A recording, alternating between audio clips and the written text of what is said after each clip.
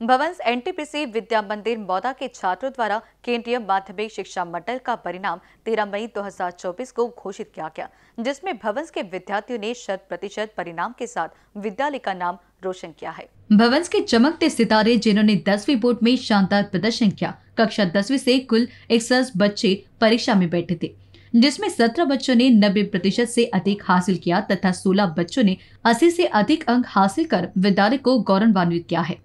कक्षा दसवीं से वेदांत पाठक ने सत्तानवे प्रतिशत अंक के साथ प्रथम स्थान प्राप्त किया है। दूसरे स्थान पर ओमकार बनोदा छियानवे दशमलव चालीस अंक के प्रतिशत के साथ रहे तथा तीसरे स्थान पर आशीष चौधरी छियानवे दशमलव बीस के साथ रहे।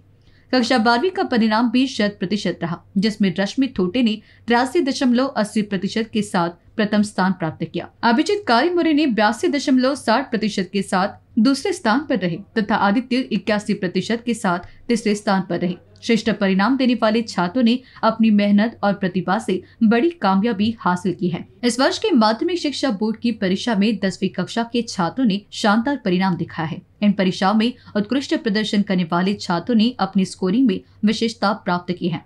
उन्होंने विभिन्न विषयों में उच्च अंक प्राप्त कर अपनी कक्षा में उत्कृष्टता का परिचय दिया है। छात्रों के उत्कृष्ट प्रदर्शन के लिए विद्यालय की प्राचार्य जानकी मणि ने उनका उत्साह वर्तन किया है। इस परिणाम से प्रेरित होकर आने वाली पीढ़ियों के लिए यह एक प्रेरणास्पद संदेश है कि मेहनत और लगन से कुछ भी संभव है। छात्रों को उनके प्रदर्शन के लिए हार्दिक बधाई और उनके भविष्य के लिए शुभकामनाएँ। रश्मि थोटे भवन से एनटीपीसी विद्या मंदिर मोहदा की छात्रा हूँ। मुझे साइंस ट्वेल्थ में 83.8 परसेंटेज मिले हैं।